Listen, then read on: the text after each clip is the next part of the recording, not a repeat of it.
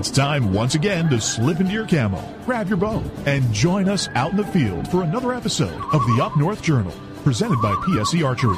The Up North Journal crew is nocked and ready to rock for another exciting adventure. So let's step outside and hit the trail. This episode of the Up North Journal podcast is brought to you by PSE Archery, Carbon Express, Fourth Arrow Camera Arms, Wind Scent Hunting Sense, Killer Food Plots, Seeds, Supplements, and Attractants, Cabela's, Spot Shooters, Limb Walker Game Calls, Twisted Minds Bowstrings, Hunter's Blend Coffee, Antler Action. and Family Traditions Tree Stands. And don't forget you can catch us in syndication at 2 p.m. Eastern Time on goodtalkradio.com. Welcome back to another episode of the Up North Journal, everybody. I'm host Mike Adams, sitting in the cabin tonight all by myself. There's no Danny around. He is staying home this weekend, enjoying the Memorial Day weekend, as everybody should with their friends and family. So we've given him the weekend off. Um, but we're still going to have a show. We're going to sit here and chat a little bit. Uh, a little bit later in the show, we're going to bring you uh, our actual interview that I did back in April with Dan Jasa of PSE Archery and Chris Schnur of Cabela's, talking about setting up and getting into the target archery game. So stay tuned for that in the next segment. But uh, what we're going to bring you tonight is actually I uh, I did get my target bow set up this week. So um, first thing we did as we talked last week here, let me flip cameras real quick. We started with uh, the Stan's release. Okay, the Stan's release. I've been practicing with that today. I shot oh 50 or 60 arrows with it, and it's taken some getting used to. I can tell you that right now. It uh, it's not quite like the standard triggered release that I've been using in the past. You know, the wrist strap, where you'd actually execute the shot and using your finger as a trigger, trigger finger, so to say, and executing the shot. You know, now we're using our thumb on this and hitting this barrel or rocking that, that release into the barrel uh, or into your thumb to execute the shot. So it's taking some getting used to. Um, let me flip back the other camera here real quick. As I went through this, um, I noticed my shots seem to group a lot better.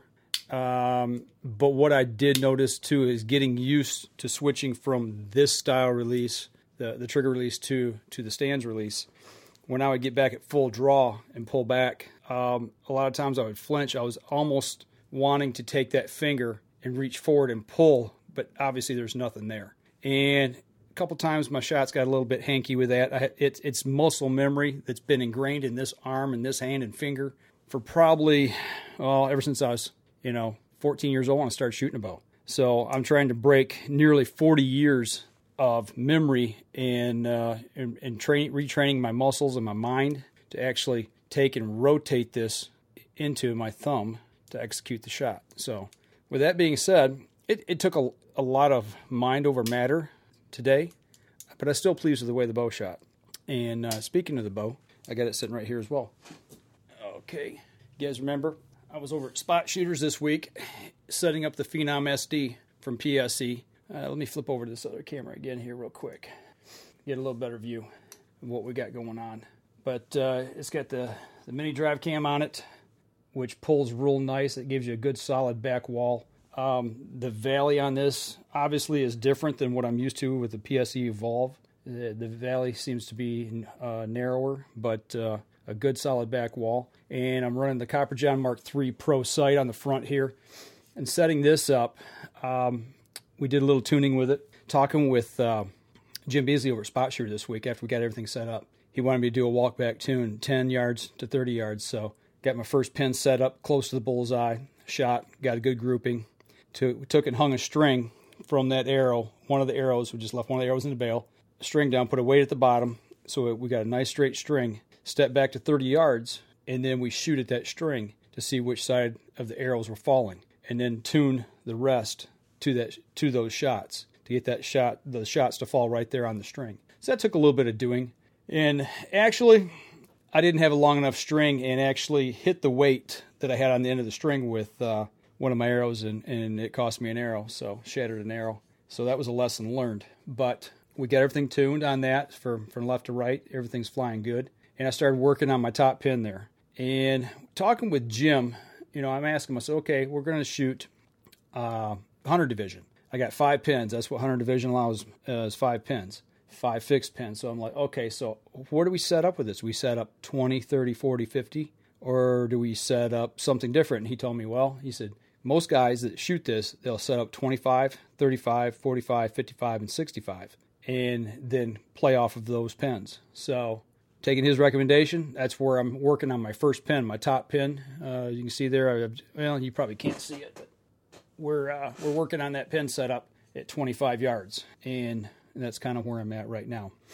One thing that happened to me today that scared the living daylights out of me. Um, the, I'm not used to shooting with a big stabilizer out front. I use a mini stabilizer on my hunting setup, but I've never shot with with this rear stabilizer. So that's something that's new. And the way this is, is set up here, you can see on the camera, this bar ties right into the front the front stabilizer right there below my hand. You know, it's got this little bracket that comes off to the side and feeds this back stabilizer. Well, during the shooting today, oh, probably 30, 40 shots in, this started to work loose and this rod rotated down and I wasn't paying attention. And I, I took a shot and it, and it caught the edge of the stabilizer, this rubber back here. And when it did, I actually thought the bow came apart. It, it really freaked me out.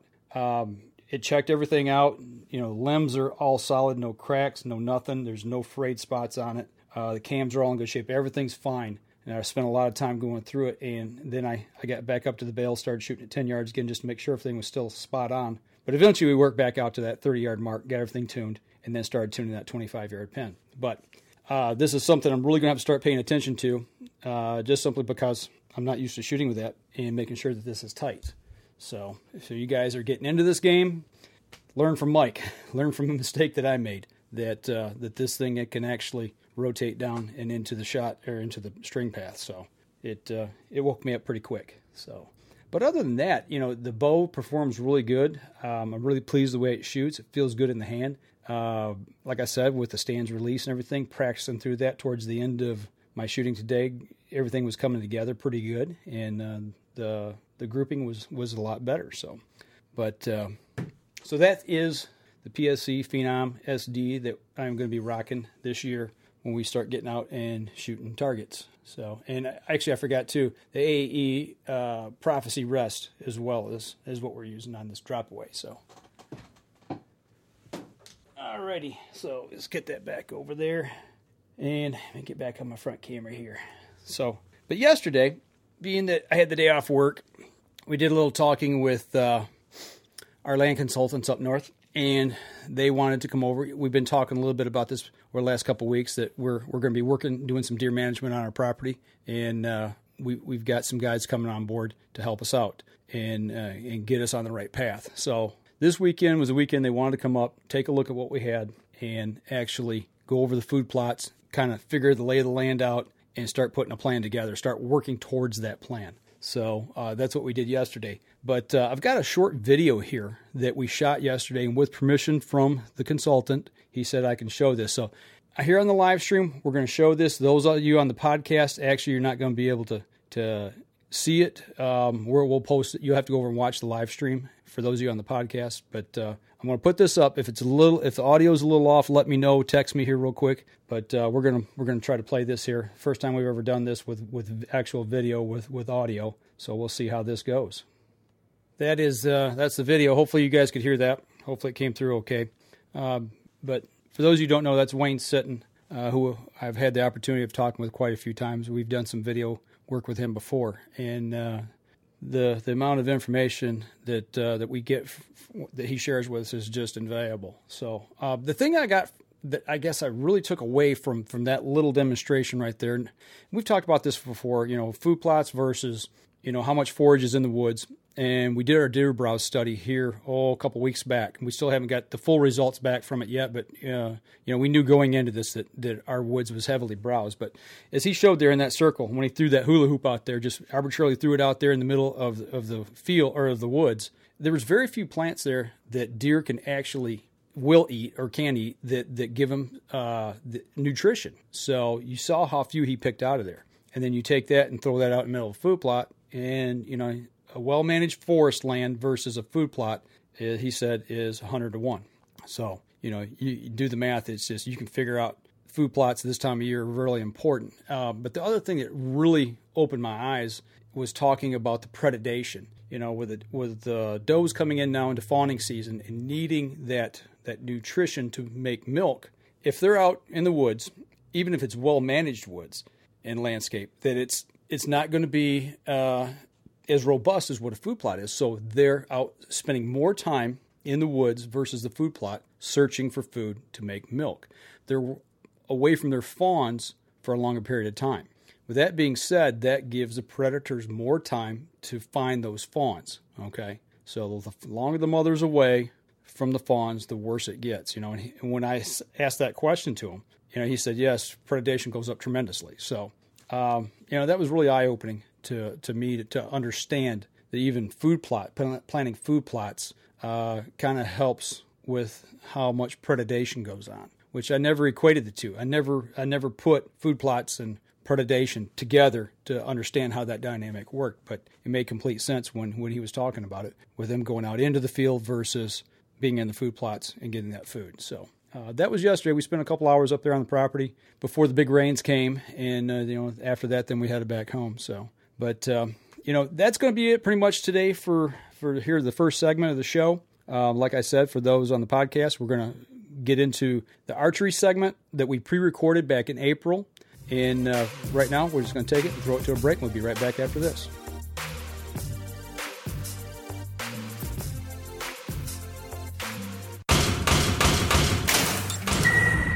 PSE Archery has reinvented the way you buy bows. From now on, you can make the most educated decision possible by basing your bow choice specifically on your shooting needs and goals. All you need to do is ask yourself, what kind of shooter am I? What do I want to achieve? PSE will help find the right category for you. So, what kind of shooter are you? Find out at psearchery.com. Killer Food Plots have been helping property owners for over 20 years create premier whitetail habitat. Whether replenishing your soil with their all natural Organics Fusion pellets or planting a premier KFP food plot seed blend to help your deer rebuild their bodies through spring and summer while supplying the much needed high energy during and after the rut, you can trust that Killer Food Plots family and their products will help your deer achieve their full potential.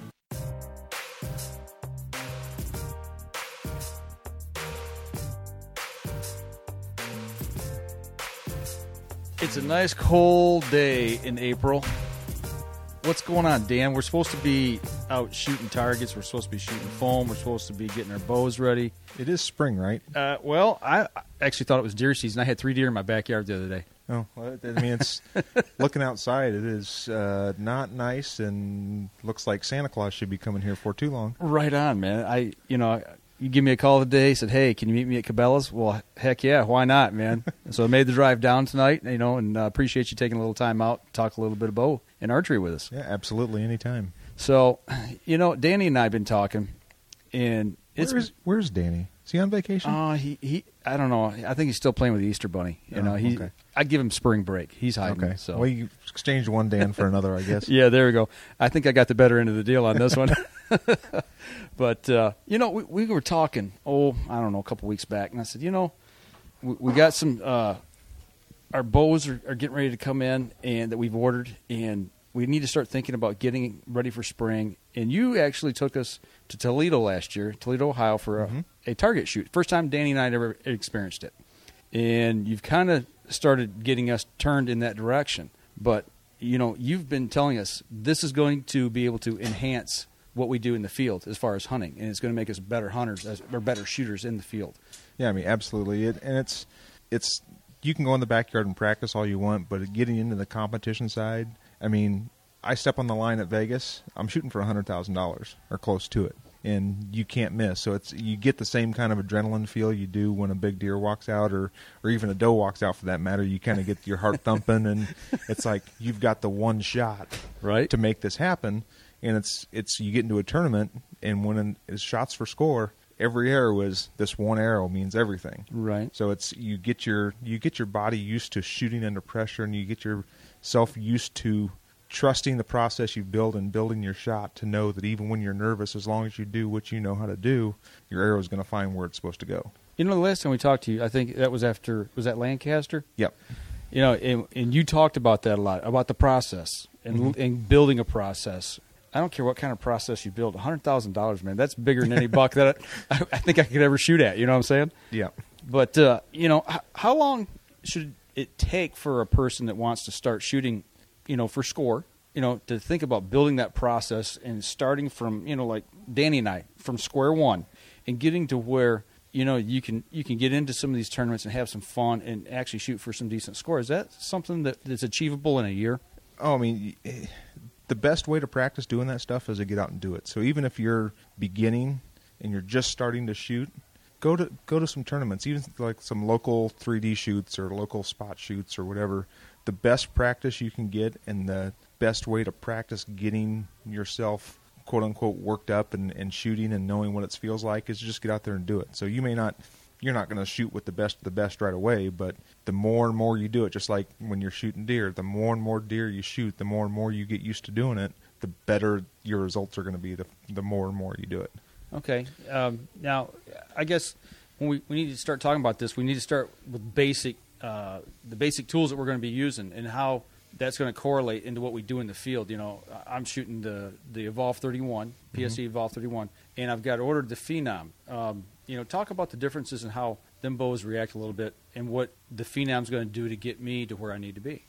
I mean, and I don't want anyone listening to this think they have to go out and get a target bow. You can go out and do any of these tournaments or shoots with your regular hunting bow, and it's it's actually great practice. Um, usually after the last big field shoot I have for the year, I, I continue to shoot targets, but I switch everything over and start shooting my hunting bows. So August September time, I'm going to be shooting all the same stuff that I was shooting with my target bows, but shooting with my hunting bows. So I don't want people to think that the only way you're going to be able to do it is to go out and buy a new bow and, and get Right. a new setup. But um, the bow you've got coming's a little bit longer axle to axle. Um, the limb pockets are a little bit more straight up and down than the Evolve are, so it's going to aim a little bit different. Okay. Um, so on you typically on a target platform, you're going to have something with a little bit straighter limbs and not quite as parallel limb as as our hunting bows are, because for targets to be absolutely the most accurate you want, it's just going to be a little bit different build compared Okay. to a hunting bow. Okay.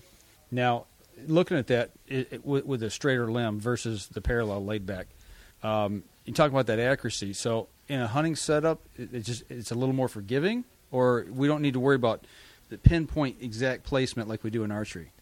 Um, How does that correlate? So with a, a little bit more stood up limb, it's going to be have a little bit more vibration to it. It's going to be a little bit louder um, than a hunting bow. So that's the main difference between the two. Um, like our newer Perform X series and the Shoot Down series, they're pretty close to what um, the evolved geometry of the limbs are, but it's just a longer axle to axle platform. Okay.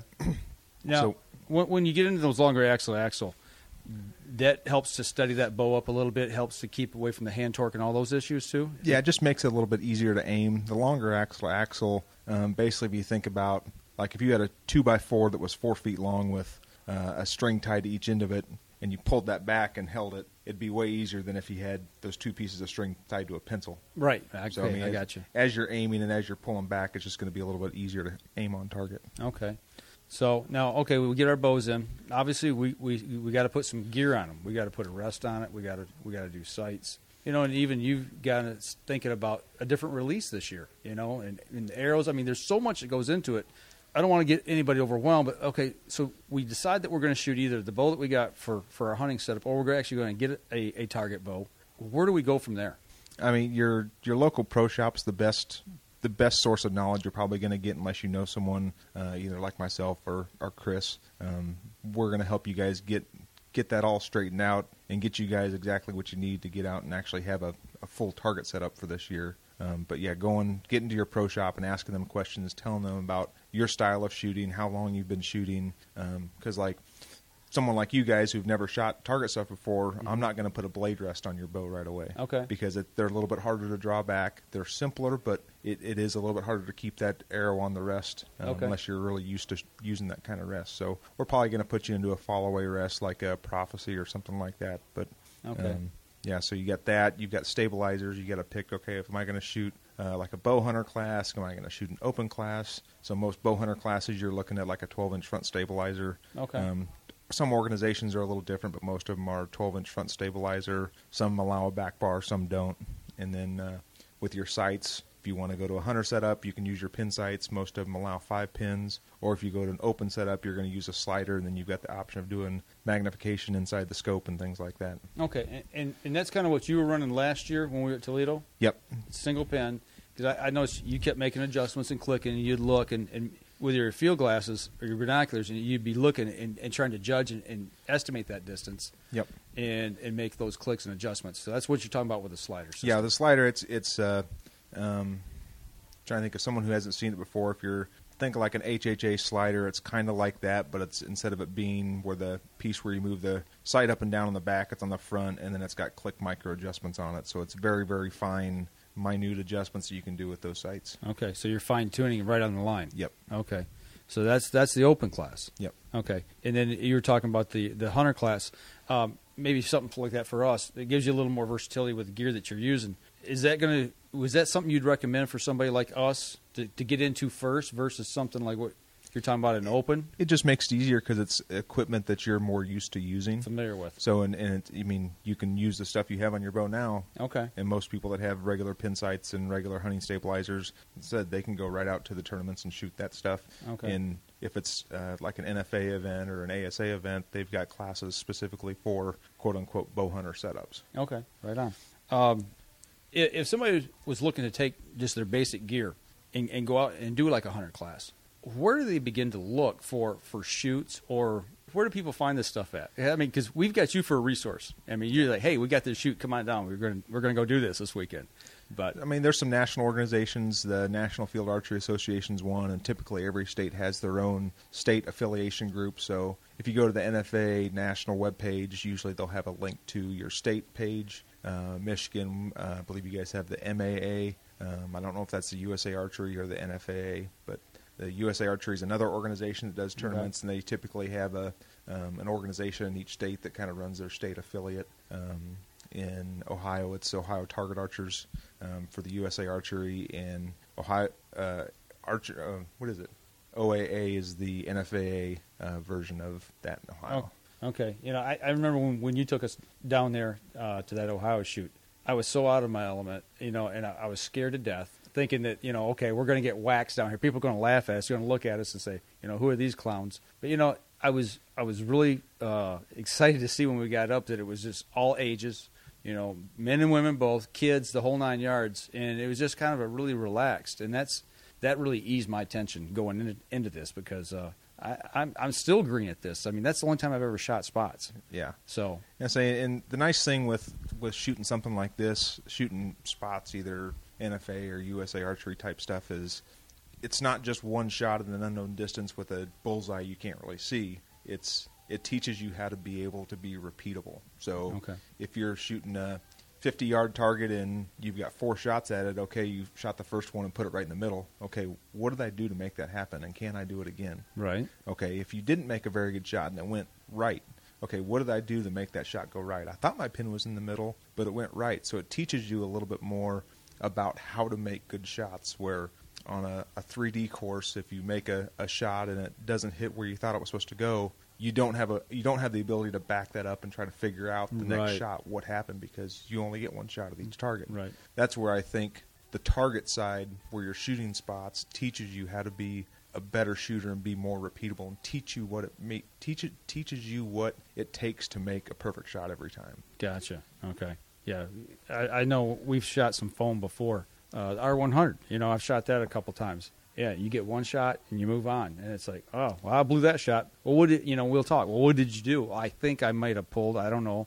And you start playing guessing games, but the last thing I want to do is start tweaking my setup, going from target to target to target, not knowing what I did. So Yeah, so I mean, the like the USA Archery 50 meter game is nice because you get 72 arrows standing at the same distance, and people are like, "Well, it's boring. You're standing in one spot and you're shooting 72 arrows at the same Mhm. distance, the same target." It's like it only gets boring when you hit every single one of them right in the middle. Right, right. If you if you don't hit every single one in the middle, okay, what did I what can I do better this next time to put more of them in the middle? Right. What what and what and how I'm shooting could be better for this next time.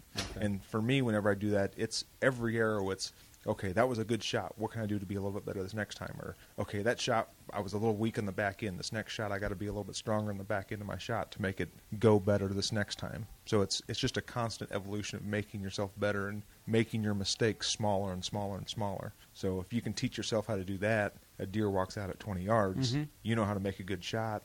'Cause You- you've done it you- repetitively. you've done it Yeah. repetitively. You know what it takes to make a good shot, and you know what it feels like to shoot under a little bit of pressure and have your heart rate elevated. Right. So when that comes out, it's not going to be a shocking surprise to your system Mhm. when that first deer walks out of the year. So yeah, target panic or, or, or buck fever, I guess. Looking Yeah. at, at either way there. So, well, I'll tell you what, uh, we're bumping up here on our, our time limit. So uh, let's take a quick break. We'll come back. We'll continue the conversation.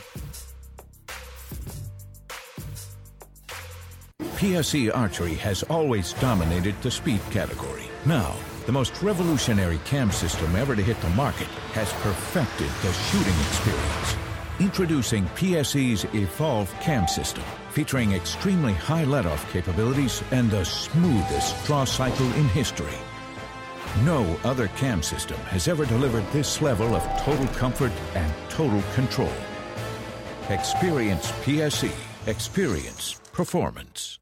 Killer Food Plots have been helping property owners for over 20 years create premier whitetail habitat. Whether replenishing your soil with their all natural Organics Fusion pellets or planting a premier KFP food plot seed blend to help your deer rebuild their bodies through spring and summer while supplying the much needed high energy during and after the rut, you can trust that Killer Food Plots family and their products will help your deer achieve their full potential.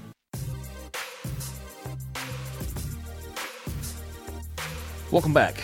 Sitting here in the back room at Cabela's, and here comes Chris with a handful of hardware. Oh boy. Say hi, Chris. What's up, everybody? How's it going?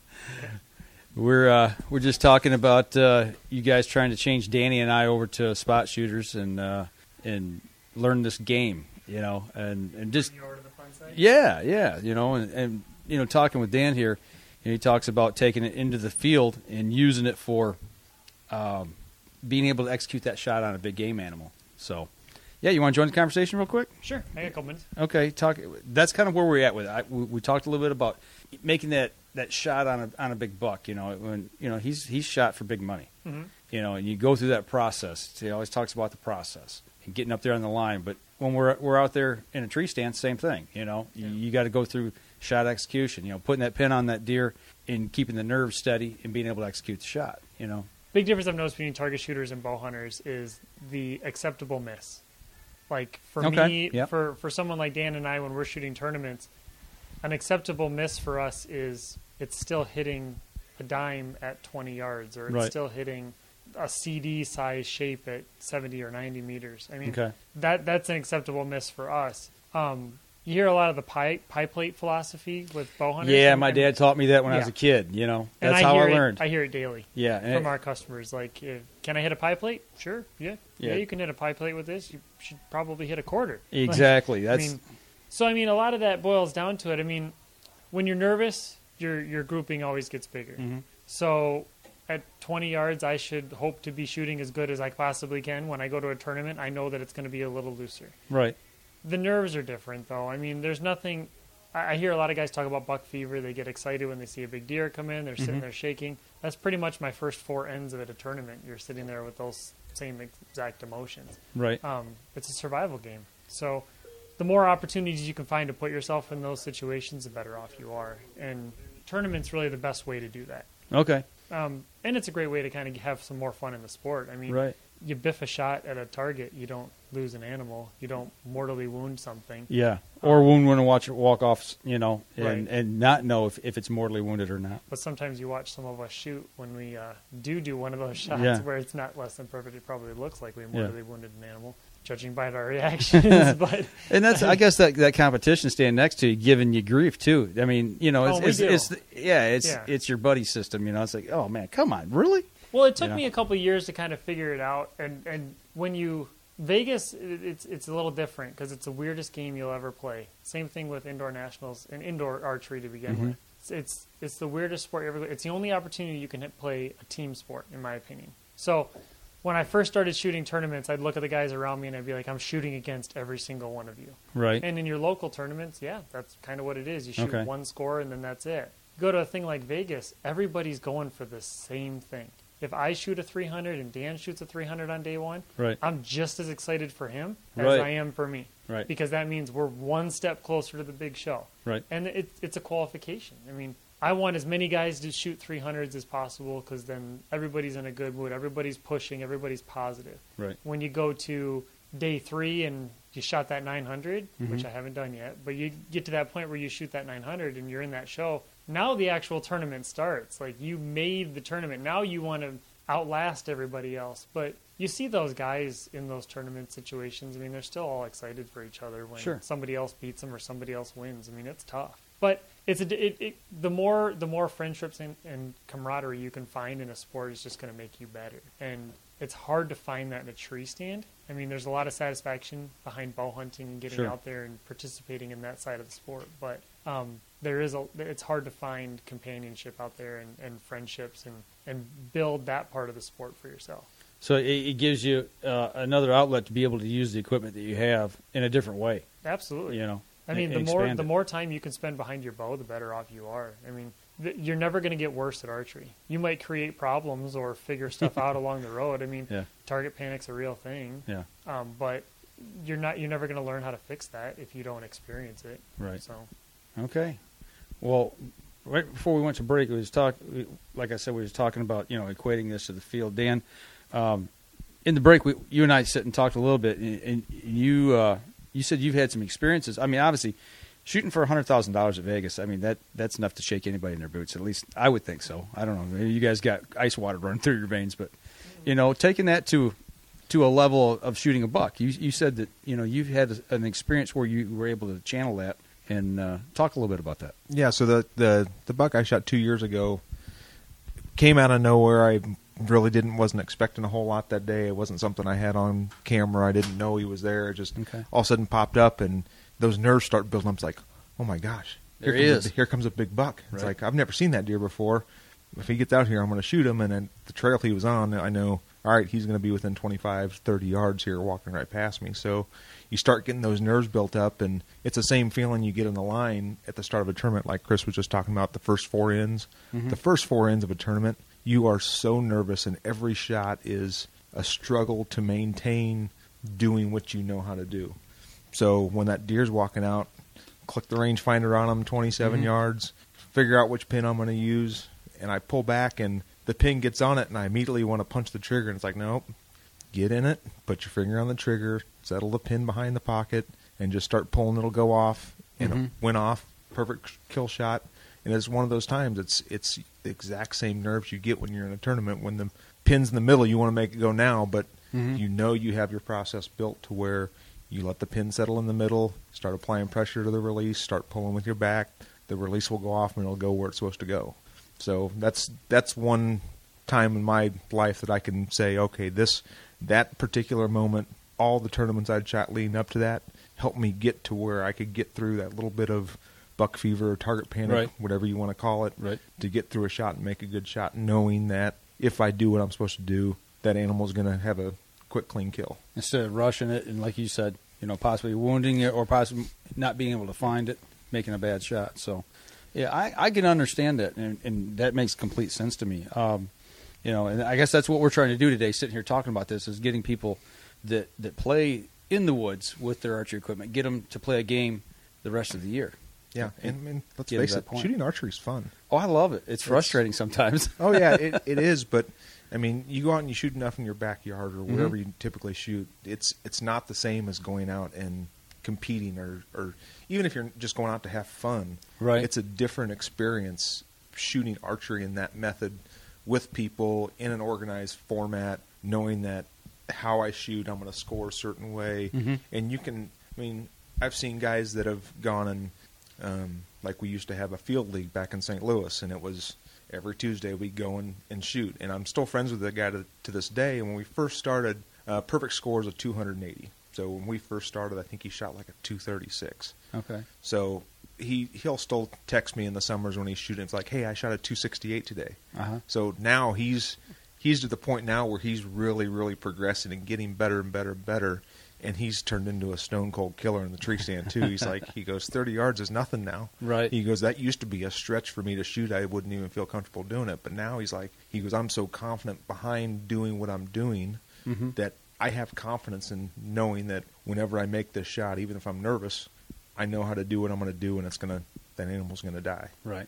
Well, you know, and talking about distance, that's something we haven't covered yet. Um, with, with archery, uh, playing the game, you know, like what you took us to, there was different unknown distances that we had to try to figure out in our own head.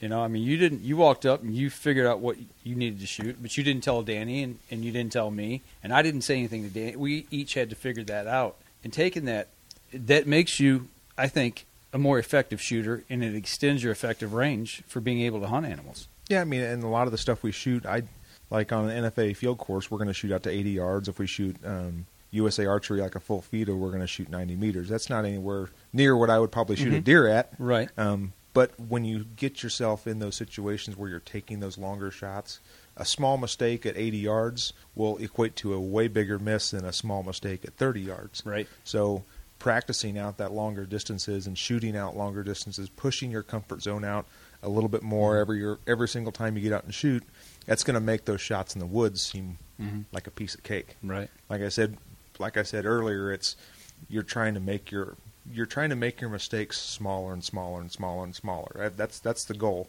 If I shoot a perfect shot, I know it's going to go in the middle, but I want to make a shot where I don't maybe do exactly everything Mhm. perfect. Right. Miss as small as I can, and that's that's the goal for practice for me. Is I don't practice to get it right. I practice till I can't get it wrong.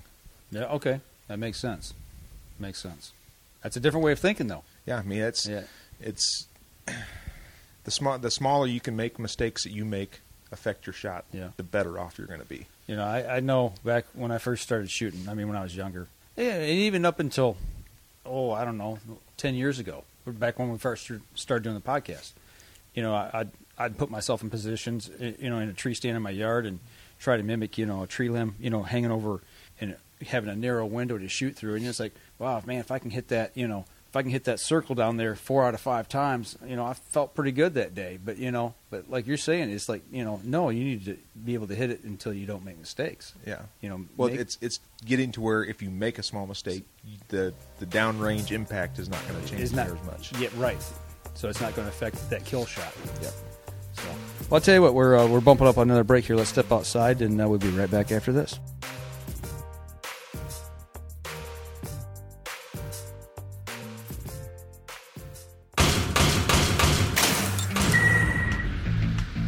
Acceleration is part of PSE's DNA. PSE pioneered the speed movement. Now they've developed the vapor category to help you find the most powerful bows on the market to fit you. High speed equates to intense power and building the momentum you need to be successful. Are you a vapor shooter? Find out at psearchery.com.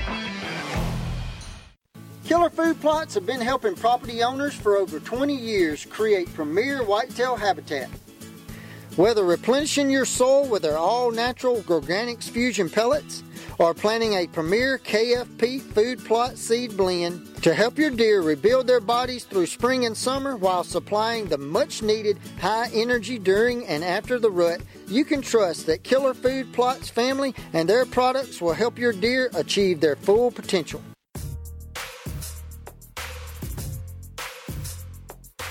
Okay, we're sitting back here again in the back of Cabela's, hanging out, talking archery, and we've talked a lot about you know how this is going to help you, you know why you should do it, basic equipment.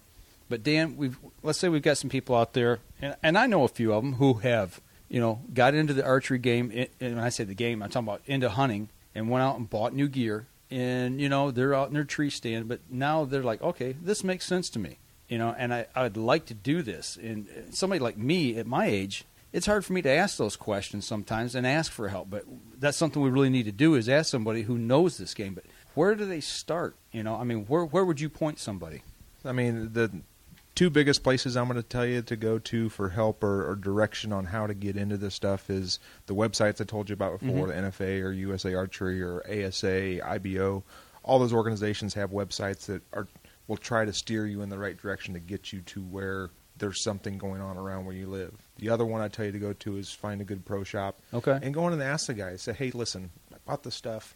I want to start doing a little bit more. Okay. And they can either point you towards a league maybe they're doing, or maybe there's a, a club that, that does some shoots, and they can say, here, listen, go talk to this guy. He runs this league, or he runs this this range, or whatever. Go talk to him. Okay. And he'll get you set up and tell you about the leagues and show you how the game works. And that that's the biggest thing. I'm I'm just like I did with you guys last year. I Right. want to introduce more and more people into shooting this kind of stuff because it makes you a better shooter, and eventually that's going to turn into making you a better hunter. Right.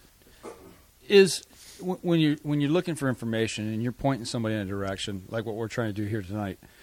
Is there anything that you'd say you, you might need to watch out for that? You know, that might be headed in the wrong direction. I mean, there, there's always bad information from people, but I mean, generally speaking, everybody that I've bumped into in the archery industry, pretty good guys. Yeah, I, um, right off the top of my head, I can't think of anything I'd say. "Eh, I wouldn't go down that direction. It's just Yeah.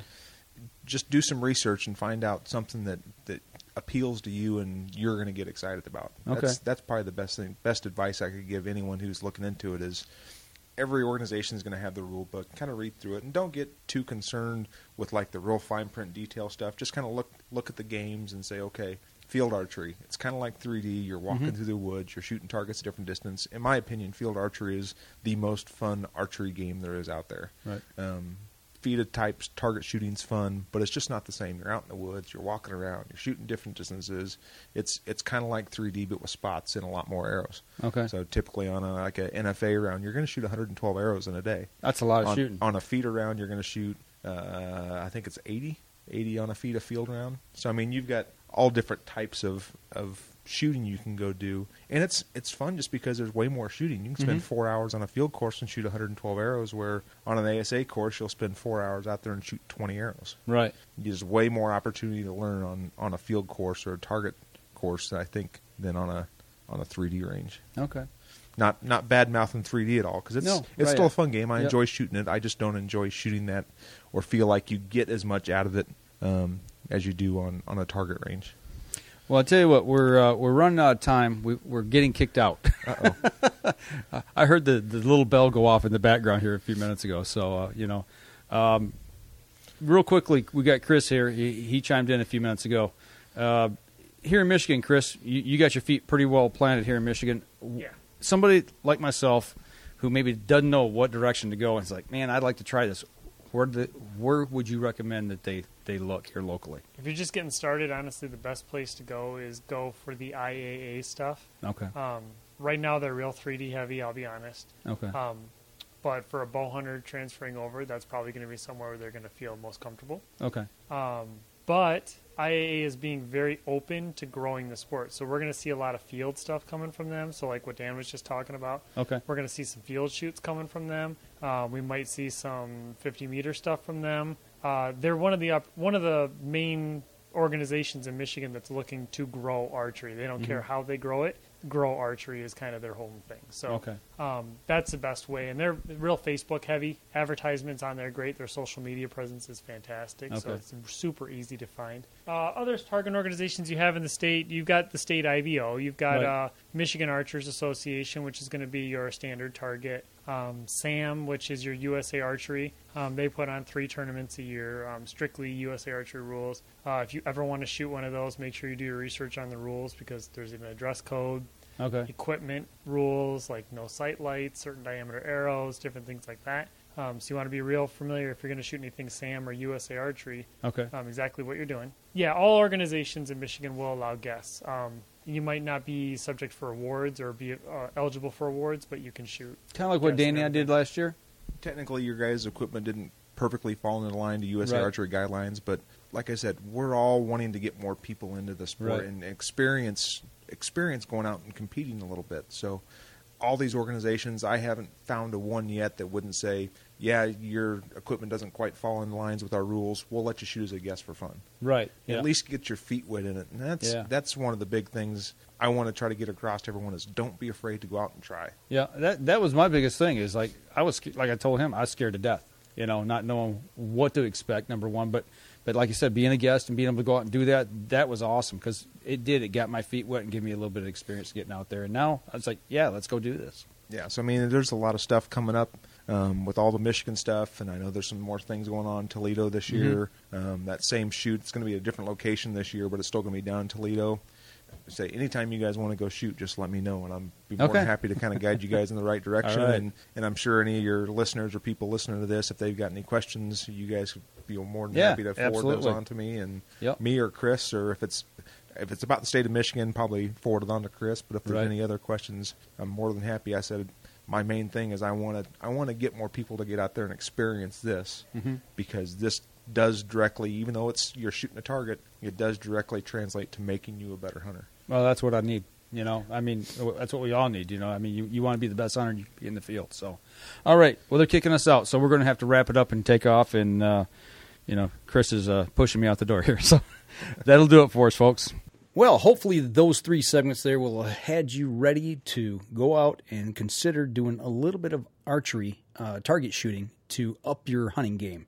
That's what uh, that's what we're hoping anyway. That's what we're going to try to do here Danny is getting his bow set up. I've got mine set up and starting to tune. So, you know, hopefully uh, you can use some of the, the recommendations and instructions that we've had here today that will help you improve your time out in the field. So uh, that'll do it here for us this week here on the Up North Journal. You know, it's Memorial Day. Danny's taking the, the, the week off.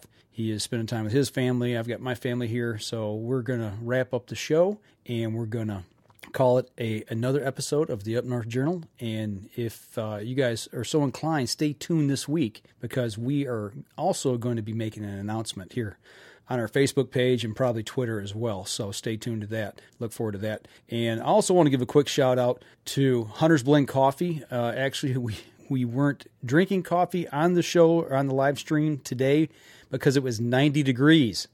It was 90 degrees out here, so uh, we let the coffee pot take a rest as well here on Memorial Day. So, but otherwise, that'll do it for us here this week. And as we always say, if you're in the woods or out on the water, shoot straight and be safe until next week on the Up North Journal. And don't forget, you can catch us in syndication at 2 p.m. Eastern Time on GoodTalkRadio.com. This episode was brought to you by PSE Archery, Carbon Express, Fourth Arrow Camera Arms, Winsent Hunting Sense, Killer Food Plots, Seeds, Supplements, and Attractants, Cabela's, Spot Shooters, Limb Walker Game Calls, Twisted Minds Bowstrings, Hunter's Blend Coffee, Antler Action, and Family Traditions Tree Stands. Thanks for listening and join us again here next week. Until then, remember, as we always like to say, if you're out on the water or in the woods, shoot straight and be safe. Until next week on the Up North Journal.